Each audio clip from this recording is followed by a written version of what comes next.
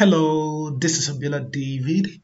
In this video tutorial, I'm going to take us on a short journey on how to generate random lists using the rand between and the dynamic array filter function. Let's get started.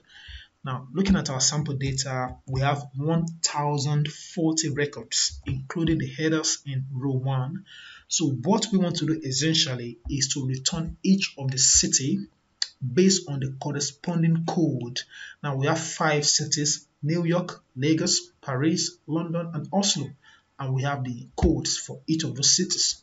So I'm going to come to cell G2 and deploy the equal sign, then type in the rand between function, which returns a random number between the numbers specified. So I'm going to press my tab key. We have bottom and the top arguments so for my bottom, I'm going to type in 1, which is the list number, comma, and the top is going to be 5. Then I close my rand between formula, control, enter.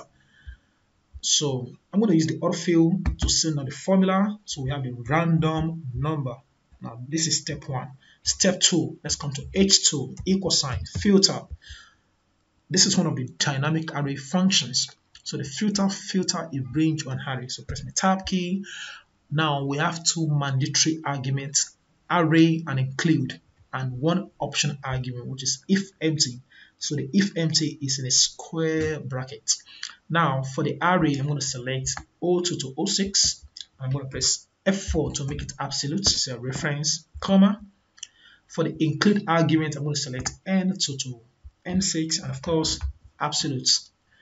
And I want to check using the equal sign I want to check whether it is equal to so this is going to be relative while this one are absolute.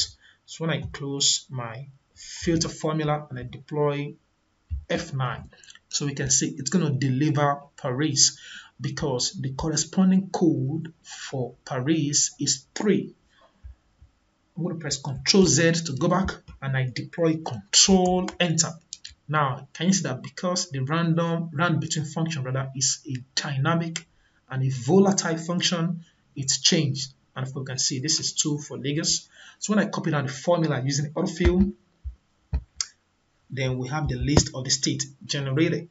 So we can see 4 for London, 2 for Lagos, 2 for Lagos, 1 for New York, 5 for Oslo, and so on and so forth. Now, the last thing I'm going to do is to break the formula behind these numbers. So I'm going to select the two together, Control Shift, right down arrow key, Control C, Alt H V V, and that removes the formulas behind it. So I can actually delete this. Then you can put in the state at the top. Amazing. So we can delete this. This is of no effect for now.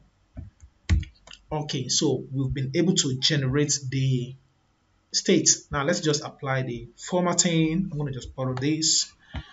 Then come here. So let's copy down to apply the formatting. Okay, so this is basically how we generate random list using the rand between and the dynamic filter function. I hope you enjoyed this video. If you do and you haven't subscribed to my channel, please ensure you do so and click on the bell icon to be notified of new videos. Thank you and bye for now.